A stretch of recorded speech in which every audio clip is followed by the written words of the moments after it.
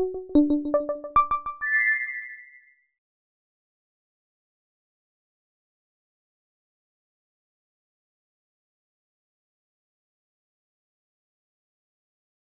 ニクラスクールの代表をしている阿部と申します。えーと本日はね双葉町の自治会さんの方から頼まれまして、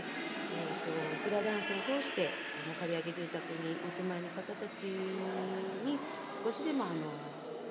元気を勇気を与えられたらと思って今日は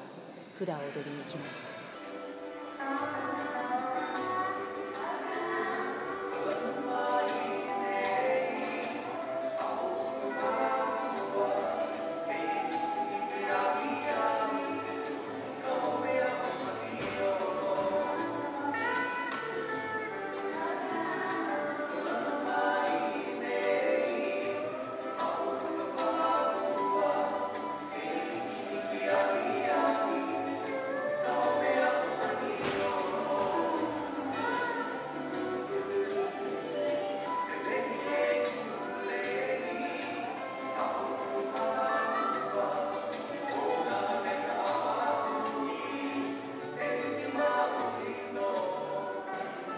私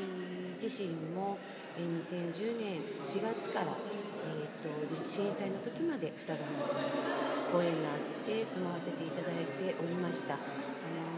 とても緑が豊かでまた海もあり川もありとても自然豊かなところで、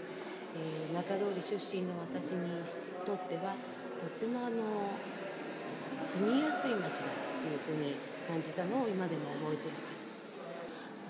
り上げに住まれている方たちも希望を持ってあの前に進んでいってい